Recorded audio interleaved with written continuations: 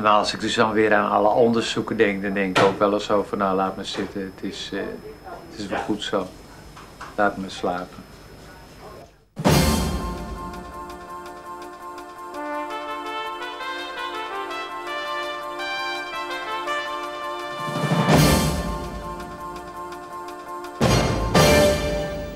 Goedenavond.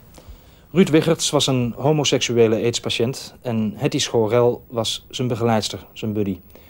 Acht maanden lang volgde Tijn van Neerven met een VHS-camera het ziekteproces. En twee dagen voor de dood van Ruud, voordat euthanasie hem uiteindelijk uit zijn lijden verloste, had ze een laatste gesprek met hem. Met haar documentaire De Koningin is ziek slaagde Tijn van Neerven cum laude aan de School voor de Journalistiek in Utrecht. Het verhaal van Ruud en Hetty.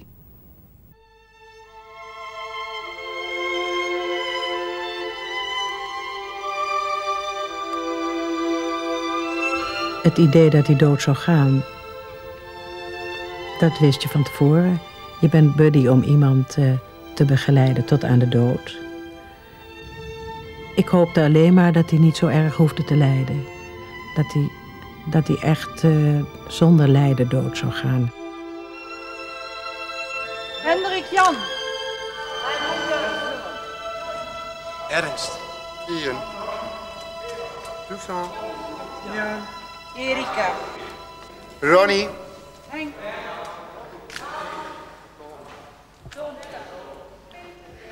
Ruud. Lorenzo. Pamela. Paul. Salvatore.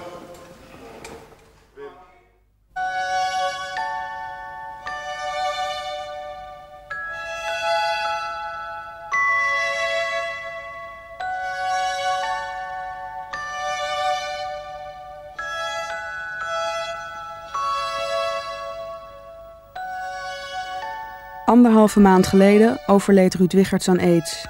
43 jaar was hij toen hij uit zijn lijden werd verlost. Ruud was homoseksueel en woonde 10 jaar samen met John. In het laatste jaar van zijn leven werd Ruud begeleid door Hetty Schorel, 62 jaar, een van zijn buddies. Ik was blij dat het zover was voor hem. Hij verlangde er zo naar. Het was voor hem niet meer te doen. En hij verheugde zich om te gaan. Dat zei hij ook. Hij zegt, ik stel me voor dat ik door die tunnel ga. Het prachtige licht tegemoet ga. En dat ik dan, eh, dat ik dan gelukkig zal zijn.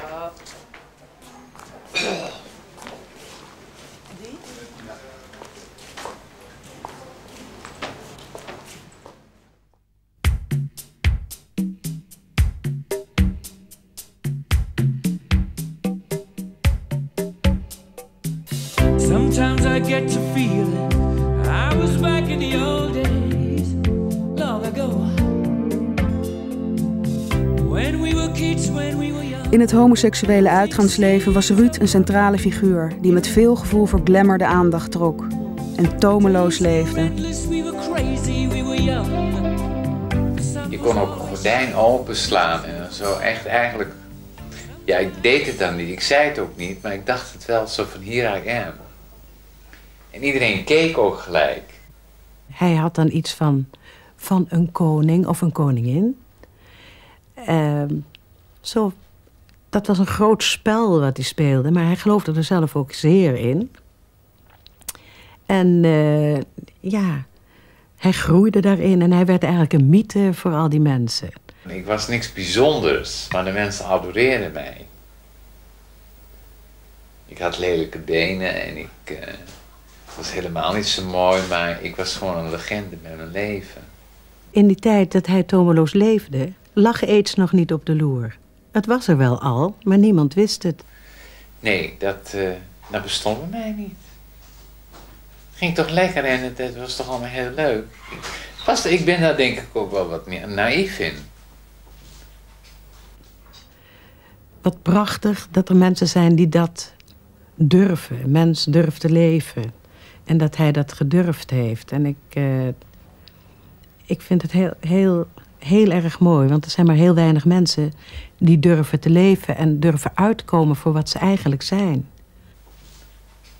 Hoe was dat toen geconstateerd werd dat jij besmet was? Nou, toen is het voor het eerst in mijn leven geweest eigenlijk dat ik huilde wat ik hoorde. En het was heel gek. Want van de ene kant wist je bijna voor 90% zeker dat je besmet was. Waarom? Nou, ik denk het leven wat ik geleden heb, dat zoveel vrienden dood en al die Amerikanen en alle andere AIDS-patiënten die je natuurlijk in bed had gehad. Ik denk, nou, het zou wel een godswonder zijn. Maar nog geloofde ik dat niet helemaal, maar goed. En toen heb ik vreselijk gehouden. Het was een winnaar. Dus de ziekte die hem dus parten ging spelen, dat was voor hem een, eh, toch een vijand die hij op een gegeven moment niet meer kon verslaan.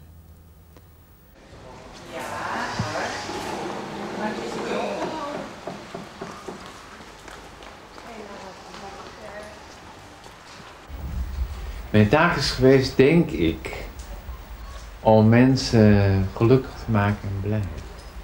En het is me gelukt. Soms ging het ten koste van mij, eh, mijzelf. Maar ik had het voor over.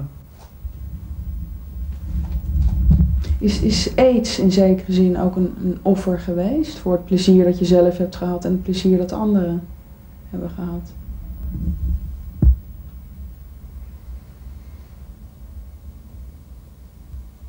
Ja, zo kan je het wel een beetje zien, denk ik.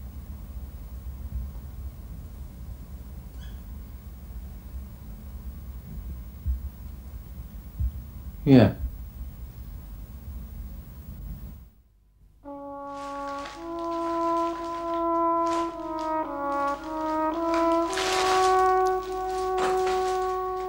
John, de vriend van Ruud, is seropositief, maar nog niet ziek.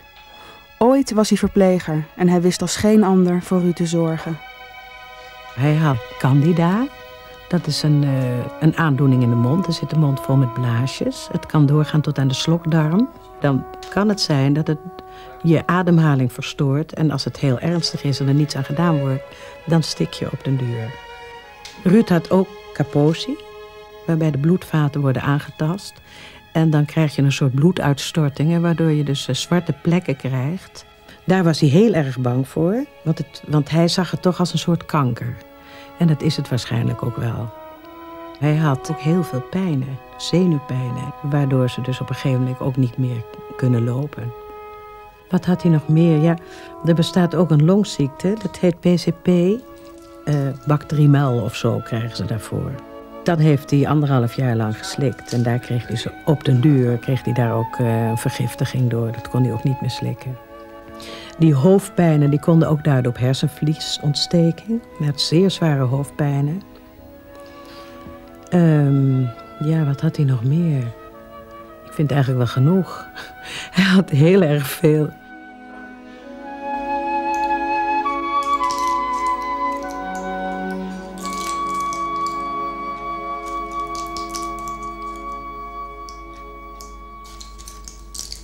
Er moet zich toch een hele oorlog hebben afgespeeld in dat lijf.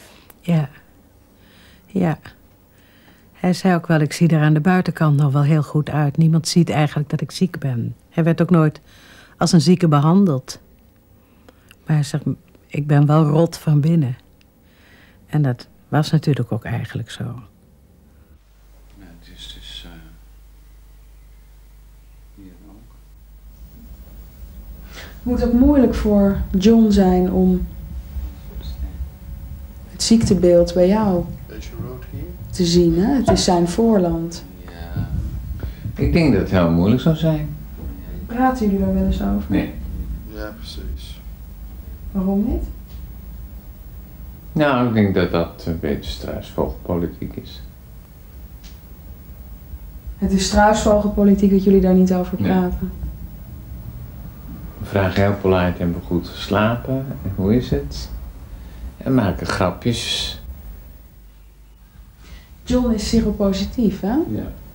Maak jij je zorgen over hem? Ongelooflijk veel. Dat zou, kan ik niet beschrijven. Dat is, ik ben heel bang dat hij in één keer ontstellend ziek wordt. En denk ik van, oh, hoe moet dat nou als ik hem moet verzorgen? Want dat lukt niet. Dat heb ik al lang gezegd. Hoe voelt dat? Ja, nee, een tekort. Blik voor me op. Oh, jij luistert wel naar Poesekindje, hè? Jij luistert wel naar Poesekindje. Ga eens in de camera kijken. Ga eens, ga eens kijken. Deze is een echte filmster. Deze is een echte filmster.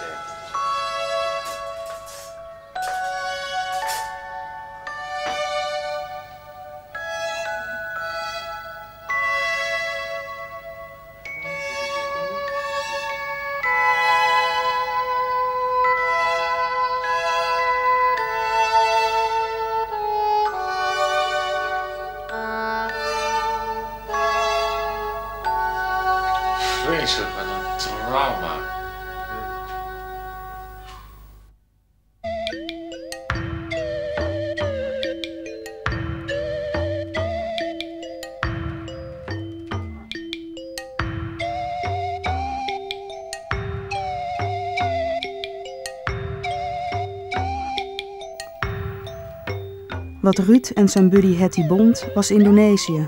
Ruud werd er geboren, Hetty bracht er haar jeugd door. Als meisje belandde ze in een jappenkamp. Nu organiseert ze een reunie voor de overlevenden.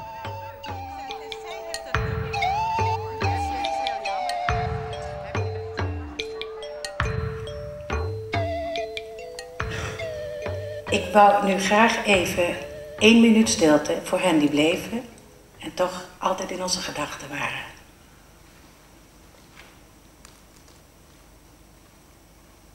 Ik herinner me dat ehm, er 300 oude mannen eh, binnengebracht werden in ons kamp. Uitgeteerde mannen. De een na de ander ging dood. En toen zijn we naar hun toe gegaan en toen zijn we gaan zingen voor ze. Ik merkte toen dat het, eh, dat het jezelf ook ongelooflijk veel deed. Om iets toch in zo'n kamp waar je haast niet tevreden had en waar alleen maar geslagen werd en terreur en rotzooi en geen, geen uitkomst. Je dacht iedereen vergeet ons, niemand redt ons. En eh, dat je dan daar binnen in die ellende nog iets kunt brengen en dat het werkt. Vormen die ervaringen een basis voor jou als buddy?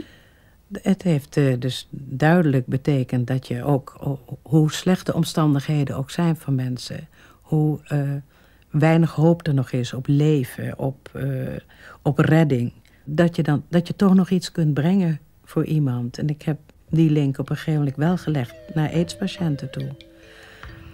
Die zijn ook reddeloos verloren.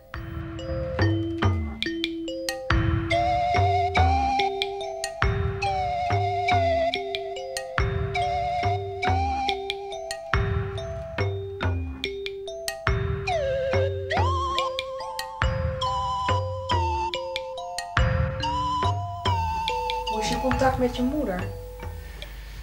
Eh, nou, redelijk. Het is niet echt geweldig. Maar ten eerste heeft ze nooit echt helemaal begrepen wat, wat het nou is om aids te hebben. Totdat mijn zusjes en mijn broers haar vertelden wat het is. En dan zegt ze, ja, ik bid.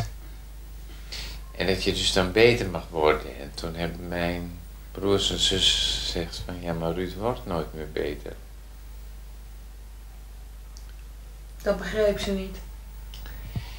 Nee, en nou begint ze meer en meer te beseffen dus dat ik dus aan deze ziekte kan doodgaan. En wat doet ze daarmee met dat besef? Nou, niet veel. Niet veel. Neem je haar dat kwalijk? Nee, ik denk soms wetenheid en we hebben nooit zo goed eh, contact gehad. Dus ik vind het op zich. eh, ja, ik zou, ik zou een andere band willen hebben natuurlijk met haar. Maar het is er niet, dus. eh dan zeg ik wel eens tegen John van, ja, ik ben gelukkiger als, als John is, want die heeft helemaal geen contact. En denk van, ach, het is goed zo, laat me. Heb, je- heb je haar nodig?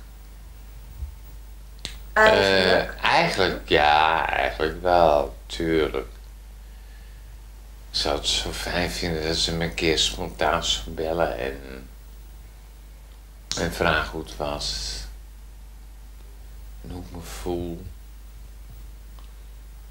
En of je het allemaal redt. Hij zei wel eens, ik wou dat ik kon huilen. Een Aziat verbergt alles. Je kunt nooit aan een Aziat zien wat er van binnen bij hem afspeelt.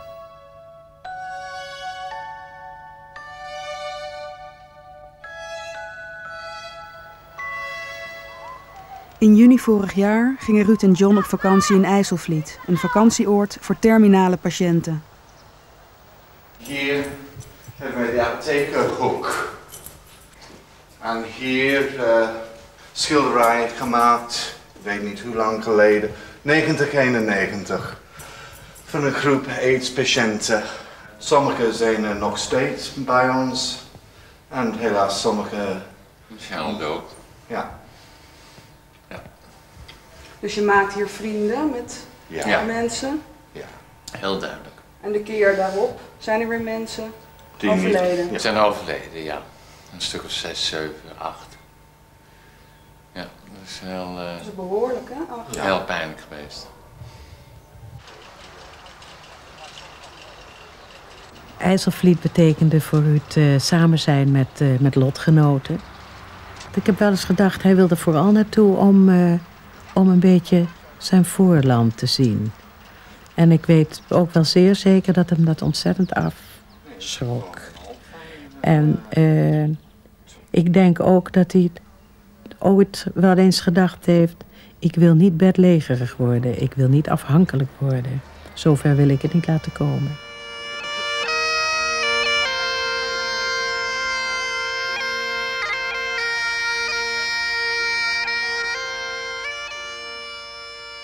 de doedelzakspeler. Daar was ik zeer door ontroerd. Dat zal ik nooit meer vergeten. Ik wist dat hij op dat moment hetzelfde dacht als ik. Namelijk, misschien ben ik er volgend jaar niet meer. En mag ik dit niet meer beleven. En wat is het toch verschrikkelijk jammer dat ik zo jong al dood moet gaan. Ik denk dat dat echt goed door hem heen ging.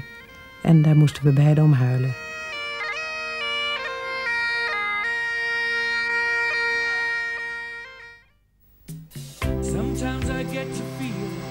Ondanks de oorlog in zijn lijf deed Ruud er alles aan om er goed uit te zien. Zelfs toen hij alsmaar zieker werd, bezocht hij nog de schoonheidsspecialist. Ben je ijdel? Ja, ontstellend. Hij kon toch niet van de koning of de koningin ineens eh, een wrak worden. Ik vond het ook een heel prettige man om naar te kijken. Hij zag er heel mooi uit. met Die mooie bruine of zwarte oogjes, van die ronde ogen. En als hij lachte, dan straalde hij helemaal. Die ogen hebben trouwens tot het laatste toegestraald. Oké, dag lieverd. Doei.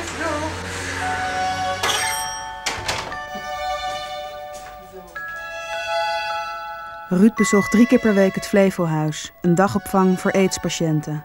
Hij ontmoette er lotgenoten. Het voorkwam dat hij in een isolement wegzakte. Desondanks beleefde hij zijn ziekte in eenzaamheid. Als ik nou bijvoorbeeld niet het Flevohuis had gehad en John zo lief voor me was geweest, zou mijn leven heel saai geweest zijn en zou ik ook hoogstwaarschijnlijk al dood geweest zijn. Zij begrijpen je volledig in het Flevohuis? Nee. Ze hebben totaal geen weet van me. Nee. Ik ben een gezellige jongen en eh, ik red het wel. Ik ben ook voor de, voor, de, voor, de, voor de mensen daar een van de gelukkigste jongens van, van die groep natuurlijk. Ik heb een leuke vriend, ze kennen John. eh, John doet alles voor me. We hebben eh, plannen. Nou, wie heeft dat eh, allemaal nog meer? Want ik geloof niet dat ik dit, dit vol kan blijven houden, nee. Wat niet voor kan blijven Die clown uithangen en... eh, Maar wat zou je ze willen laten zien van jezelf?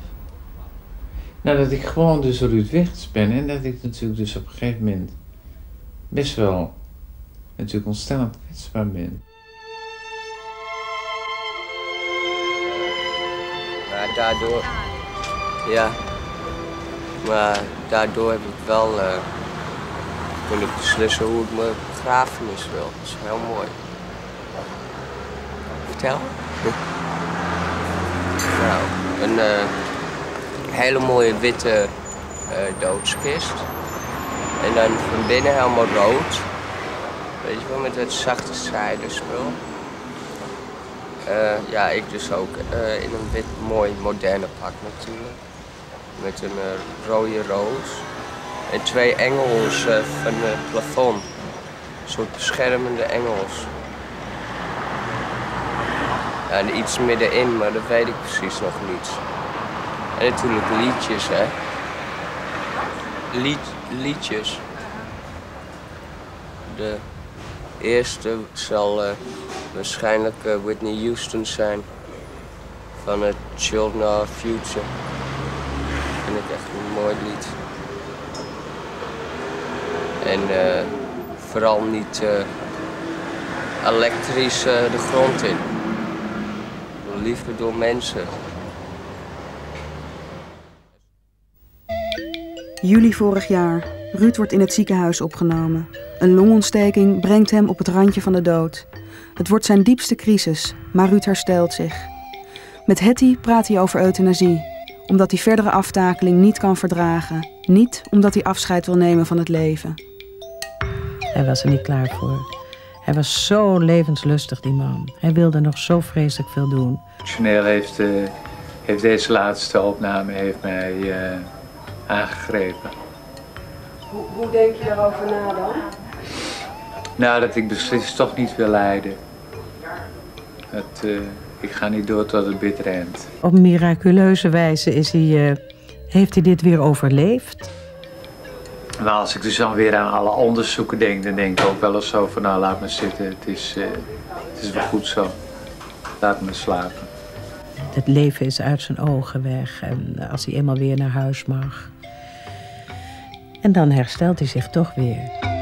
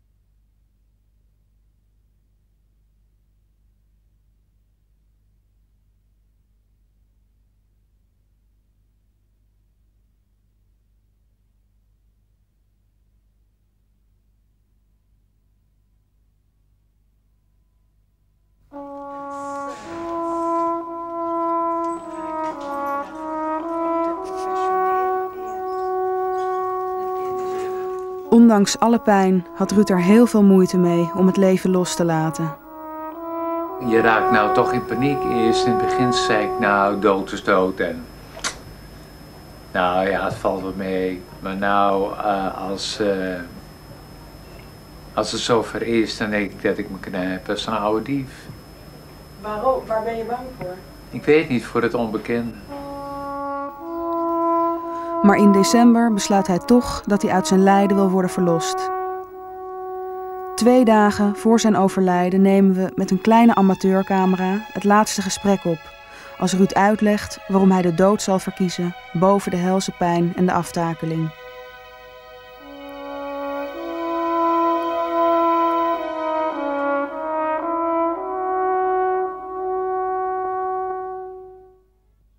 Ik heb dus mijn, uh, mijn sporen en mijn rust verdiend. En er is ook uh, maar weinig mensen die dus uh, zo hun keuzes kunnen bepalen om van een prachtig leven afscheid te kunnen nemen. en bij het volle bewustzijn. En dat is denk ik het uh, mooiste wat ik heb kunnen krijgen. Dat is voor mij een, een godsgeschenk. Mm.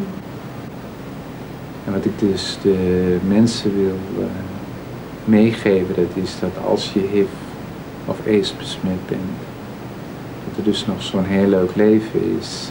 Alleen dat je dus keuzes moet bepalen en op een gegeven moment heel uh, moet zijn als je dus op een gegeven moment geen verbetering ziet in je situatie. En het alleen maar erger wordt. En dat geen enkele pijnstiller ook helpt.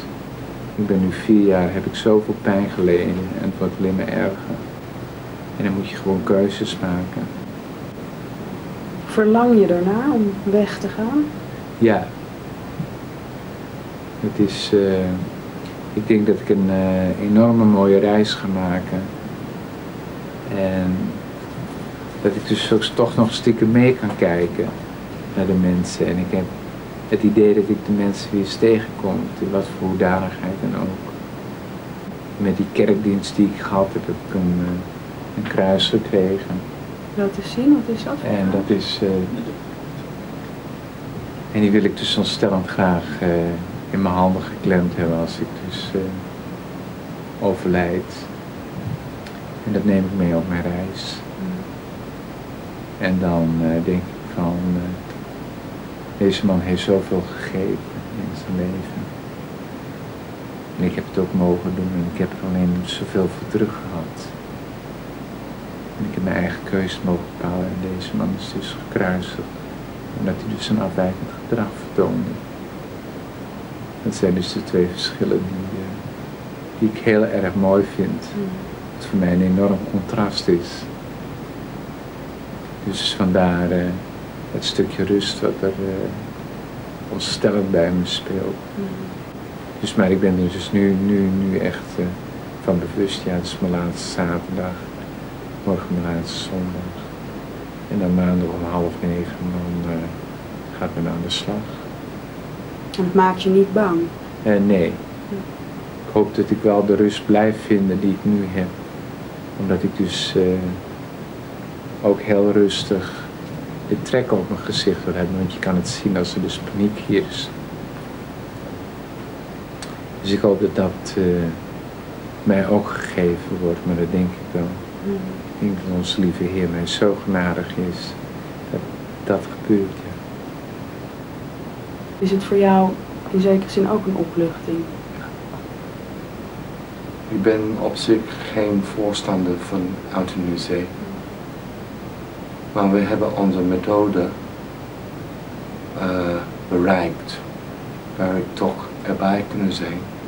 Maar op de cruciale medische behandeling waar Ruud begint deze leven te verlaten, zou ik niet erbij zijn. En als ik verder niks meer kan doen, dan hoop ik dat ik toch bij Ruud kan komen als hij begint in coma te raken de gehoor, ja, de sens ja, van de gehoor, dat, dat... is een van de laatste zintuigen die een patiënt heeft. of een stervende heeft. Die is de laatste lichaam te verlaten. Dat op die moment, al kan ik geen kick geven, maar die hoort mijn stem. Over, tot ziens. Reis. Dat wil je hem nog zeggen? Ja. En dan wacht ik. Dan wacht ik. Geduldig.